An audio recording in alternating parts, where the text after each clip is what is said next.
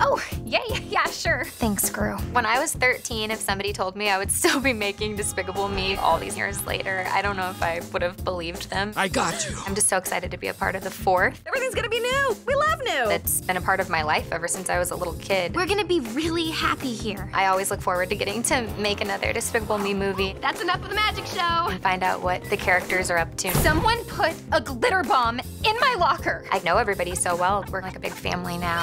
Holy cow! You guys okay? I'm a teenager now in the movie, so I've grown up a little bit. My name is Bree. I try to think about my experiences when I was a kid, You don't have any friends? and I get to kind of tap into just that like free, goofy, fun time in your life. Ah, so cute. I can't wait for everyone to see these new crazy minions and the new characters. It's gonna be a lot of fun. I started when I was 13 and now I'm 30, so it's come full circle. Whoa, really? Yes.